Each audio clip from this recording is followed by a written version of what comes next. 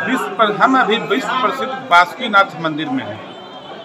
और पिछले वर्ष कोरोना के वजह से श्रावणी मेला नहीं लगा था, और फिर 25 जुलाई से सावन चालू होने वाला है, लेकिन जिला प्रशासन की ओर से मेला को लेकर कोई गाइडलाइन कोई दिशा निर्देश अभी तक नहीं आया इस क्षेत्र में एक कहावत है कि यहाँ के जो पंडा समाज के लोग हैं या जो दुकानदार हैं, जो फूल बेचते हैं, ये सावन महीना में एक महीना कमाते हैं और साल भर उसको खाते हैं। पिछले बार मेला नहीं लगा।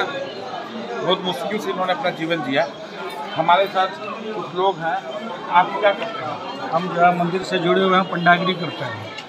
पिछले क्या दिक्कत हो रहा है आप लोग बहुत दिक्कत है आर्थिक प्रॉब्लम है हम लोगों को जो है बहुत दिक्कत है खाना पीना जो है दिक्कत हो गया। कोई प्रकार का सरकार सरकार की तरफ़ से पैकेज भी हम लोगों को नहीं दिया गया है। मान लीजिए श्रावण मेला जो है नेक्स्ट ईयर भी नहीं लगा। इस बार भी नहीं लगा तो हम लोग जो है बाल बच्चा को क्या खिलाएँगे? हम लोग अब कैसे अपना जीवन यापन करेंगे? इसलिए जो है सरकार से हम लोगों का निवेदन है कि जो है श्रावणी मेला को जो है शुरू किया जाए। इसी तरह गाइडलाइन देख के ताकि हम लोगों को कोई तरह का दिक्कत नहीं हो। क्या नाम है आपका? विवेक तिवारी नाम हुआ मेरा बासुकीनाथ घर है हमारे साथ और एक आदमी है। आप क्या करते हैं? हम फूल वाले हैं सर। क्या नाम है आपका? मनोज कुमार राव। फूल बेचते हैं अब मेला नहीं लगेगा मंदिर बंद है श्रद्धालु नहीं आ रहे हैं। कितना दिक्कत हो रहा है आप लोगों को? बहुत ज़्यादा दिक्कत हो रहा है। दिक्कत बहुत ज़्यादा हो रहा है सबको आर्थिक स्थिति कमज़ोरी है। और नहीं अगले साल भी नहीं लगा इस बार भी नहीं लगेगा तो और दिक्कत हो जाएगा। दुकानदार हुआ पंडा समाज हुआ और जितना दुकानदार है चूड़ी वाले गन्ना वाले सबको दिक्कत। परेशानी सबको झेलना पड़ रहा है। सभी परेशान हैं जो मंदिर से जुड़े हुए लोग हैं। अब मंदिर में इस तरह के लोग जुड़े हुए हैं? आपका क्या नाम है? चलिए आपके यहाँ पूजा कराते हैं पंडा। है आप लोगों का काम कितना प्रभावित हुआ है? हम लोग हम लोग पूर्ण रूप से ही प्रभावित हुआ है। क्योंकि जाओ अभी हम लोग मंदिर पे ही। पिछले साल से ही मंदिर यहाँ पे बंद है।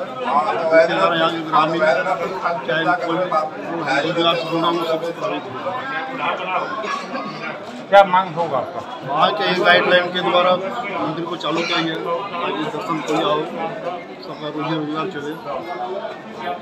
आर्थिक पैकेज आर्थिक पैकेज मिले आपका क्या नाम है?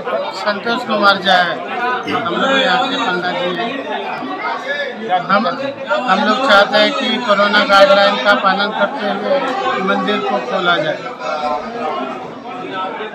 पिछले साल भी सार्वजनिक मेला नहीं हाँ। इस बार भी नहीं। तो कमा टूट जाएगा एक तो अगले साल का जो पहले का कमाई था उसे अगले साल खाए उसके बाद ये चल रहा है। अब यदि दो हज़ार इक्कीस में भी नई सावरणी मेला होता है तो हम लोग भुखमंदी के कगार में पहुँच जाएँगे।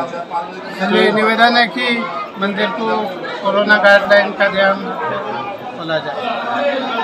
सरकार जो है जीवन बचाने में लगी हुई है लेकिन जीवन के साथ जीविका भी बहुत ज़रूरी है। सरकार को कोविड गाइडलाइन का पालन करते हुए मंदिर खुले, ऐसा यहाँ के पंडा समाज के दुकानदारों की मांग है।